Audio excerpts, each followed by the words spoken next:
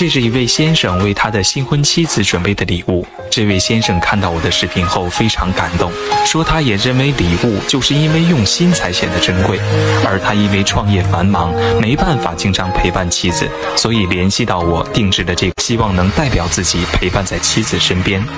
可能你刷到这个视频不会逗留很久，也不会点赞，以后你就找不到我了。我先祝你往后余生身体健康，陌生人。